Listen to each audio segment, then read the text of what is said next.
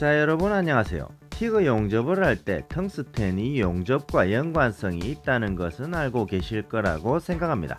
그리고 텅스텐 연마 각도 또한 용접에 영향을 줍니다. 이전 시간에 여러 번 보여드린 적이 있습니다. 그 이후에 많은 형님들께서 텅스텐 연마 각도와 침투기 피의 연관성에 대해서 궁금해 하셨습니다. 용접된 부분의 절단면이 궁금하다는 의견도 많이 보내주셨습니다. 그래서 오늘은 텅스텐 연마 각도와 침투 깊이의 연관성을 비교해서 보여드릴게요. 그리고 추가로 몇 가지를 더 보여드리겠습니다. 텅스텐 연마 각도 이외에 다른 조건들은 동일하게 맞추는 것이 좋을 겁니다.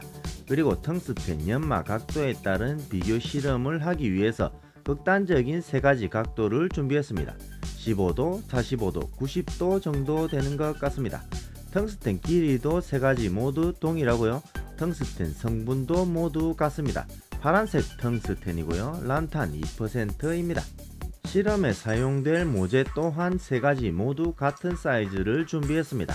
이렇게 하면 모재에 따른 변수는 최소화될 것 같습니다. 그리고 같은 곳을 조준해서 용접을 하면 될 것 같네요. 용접 전류는 220A를 사용할 거고요. 용접 설정은 ET 모드입니다. 이렇게 하면 스타트 버튼을 누르고 있을 때만 용접이 됩니다.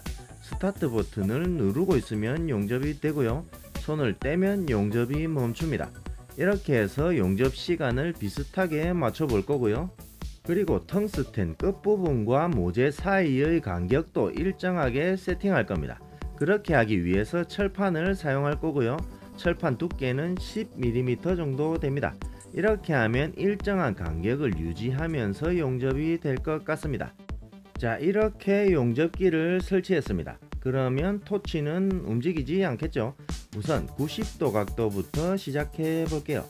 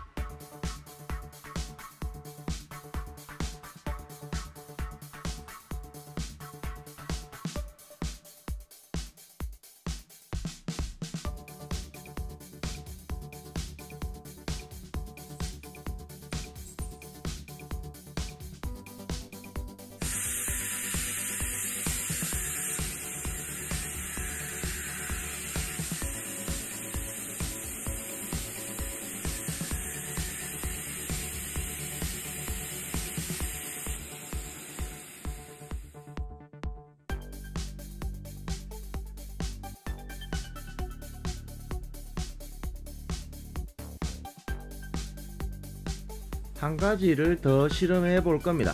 용접 설정은 스폿 용접 모드고요. 용접 시간을 1초로 세팅해 볼게요. 이렇게 하면 1초 동안만 용접이 되고 자동으로 용접이 멈춥니다. 용접 시간이 짧기 때문에 텅스텐과 모재 사이의 간격은 조금 더 줄였습니다. 간격은 5mm 정도 됩니다.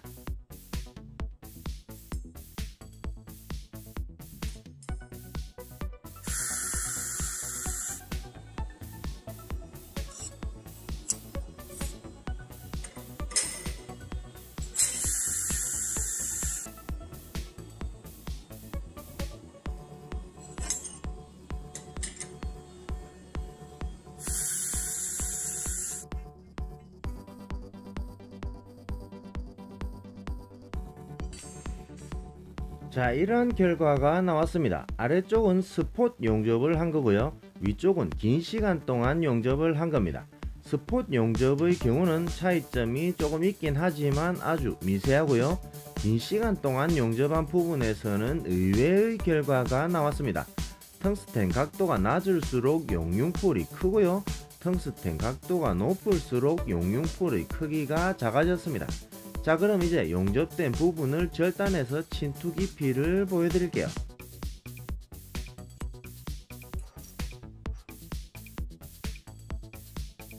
자 이렇게 용접 부위를 절단했고요. 절단면에 전해연마를 했습니다. 이런 방법으로 침투 깊이를 확인하는 방법도 있습니다. 우선 15도와 45도 두 각도를 비교했을 때 침투 깊이는 비슷합니다. 텅스텐과 모재 사이의 간격을 10mm로 세팅했고요. 실제 용접을 할 때에는 이 정도로 간격이 크지는 않습니다. 하지만 아크의 모양을 보여드리기 위해서 간격을 크게 했고요. 간격이 크다 보니까 열 전달이 낮았던 것 같습니다. 하지만 90도 각도에서는 의외의 결과가 나왔습니다. 15도, 45도 두 각도에 비해서 90도 각도가 침투가 더 깊었습니다. 지금 보시는 이 부분까지 침투가 되었습니다. 15도 각도와 비교해서 보여드릴게요. 90도 각도에서 침투가 더 깊습니다.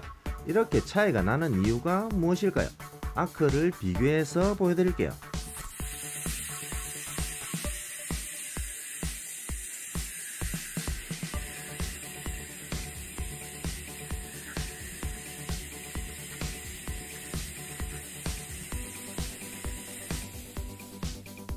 세 가지 경우 모두 아크의 모양은 서로 조금씩 다릅니다.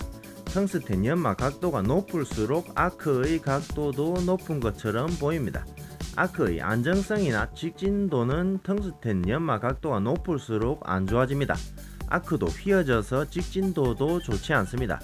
용융 풀도 흔들리고요. 용융 풀이 조준한 방향에서 벗어나려고 합니다.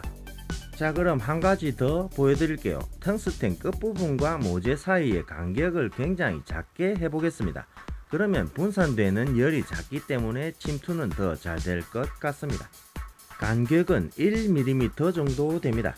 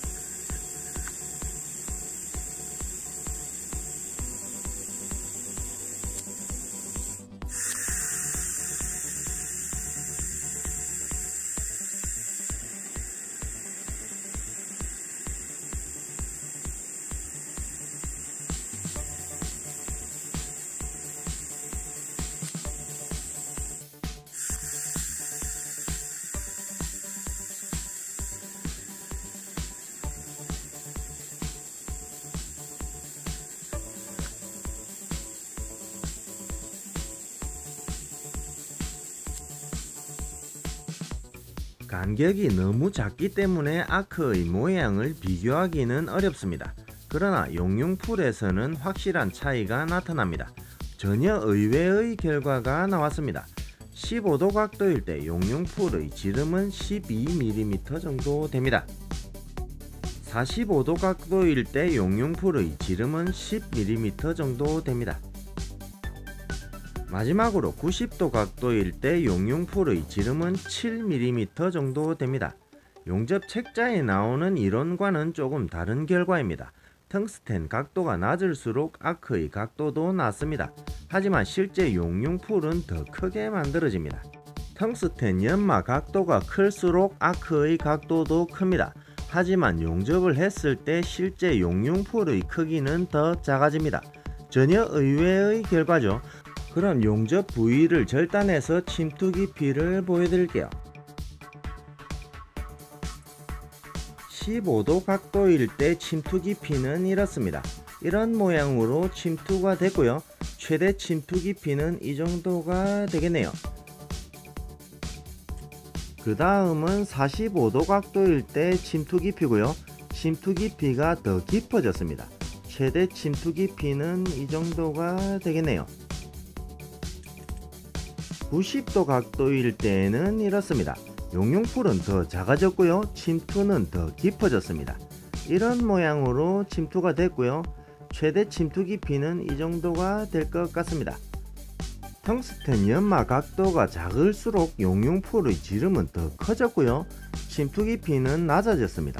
텅스텐 연마 각도가 클수록 용융풀의 지름은 더 작아졌고요. 침투 깊이는 더 깊어졌습니다. 아마도 용접 학교에서 이론을 배울 때에는 이렇게 배우실 겁니다. 용접 책자에도 이렇게 나와 있고요.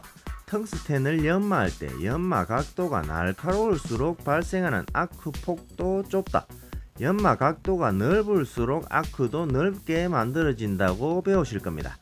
그에 따른 침투 깊이도 아크의 각도에 따라서 그림처럼 달라진다. 아마 이렇게 배우셨을 겁니다. 하지만 오늘 제가 보여드린 내용의 일부는 용접 미론과는 반대되는 결과가 나왔습니다. 용접 책자에 나오는 이론이 틀렸다는 말이 아닙니다. 이론처럼 아크는 만들어집니다. 하지만 극단적인 설정을 적용한다면 어떤 변수에 의해서 실제 결과는 이론과 달라질 가망성도 있다는 의미입니다. 정답은 없다는 거겠죠. 그런 내용을 알아보는 것도 흥미가 있을 것 같습니다. 만약 이 영상의 반응이 좋다면 숨겨져 있는 추가적인 내용도 영상으로 제작하도록 하겠습니다. 왜냐하면 이런 영상을 제작하는 것이 굉장히 번거롭고 시간도 오래 걸리고 카메라 촬영하기도 어렵습니다. 영상 편집하는 시간도 굉장히 오래 걸립니다. 그리고 다른 상황에 적용했을 때에도 아마 다른 결과가 나올 겁니다. 의외의 변수가 만들어지기 때문입니다. 그래서 필렛 용접, 파이프 용접, 맞대기 용접을 할 때 루트 패스, 위링을 할 때에도 변수가 있을 겁니다. 어쨌든 텅스텐에 대한 더 많은 실험과 더 자세한 이야기가 궁금하시다면 좋아요를 많이 눌러주세요. 자 그럼 오늘은 여기까지. 오늘 영상이 유익했다면 구독과 좋아요 알림 설정까지 부탁드리고요. 자 그럼 오늘은 이걸로 마치고 다음 시간에는 또 다른 내용으로 다시 돌아오겠습니다. 시청해 주셔서 감사합니다